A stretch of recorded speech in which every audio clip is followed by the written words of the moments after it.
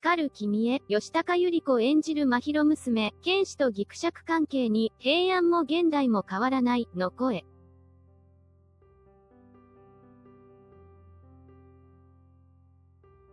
女優のが主演を務める NHK 大河ドラマ、光る君への第37回、波紋が29日、オンエアされ、真宙、吉高と愛娘の藤原健士、リカリとの関係を危惧する声が集まった。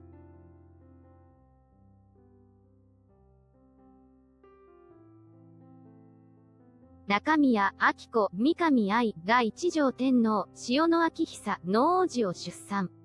多くの人が喜ぶ中、真宙は、一取りに下がることをお許しいただきたく、と実家へ帰ることをお願いする。久しぶりに置いた父と娘の顔を見て参りたいと存じましてと理由を話した。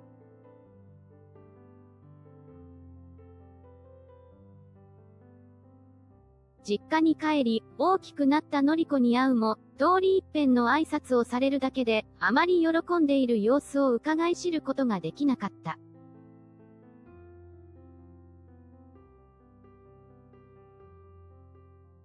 真宙はその夜、みんなの前でお酒を飲みながら、土見門殿の、あの宴は、誠に盛大で、お菓子もお料理も食べきれないぐらい並んでいたの、中宮様のご出産に立ち会えるなんてこれまでで一番、胸が熱くなったわ、代理の話を披露するも、誰も面白がらずに、冷たい空気が流れた。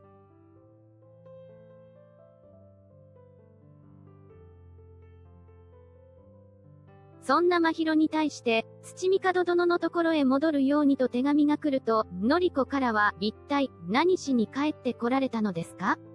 代理や土見門殿での暮らしを自慢するため、母上はここより、あちらにおられる方が楽しいのでしょと厳しい一言。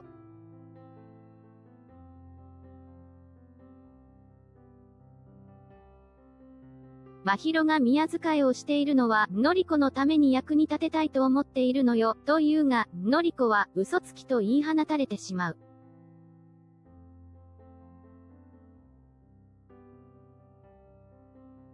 ギクシャクした真宙とのりこの関係に、視聴者たちは、これは見扱いをしている場合じゃなくないか、職場の話ではなくて、のりこちゃんのお話をすべきだったよな、母が恋しい時期に母がおらず、真宙も思春期の娘への接し方がわからずギクシャク。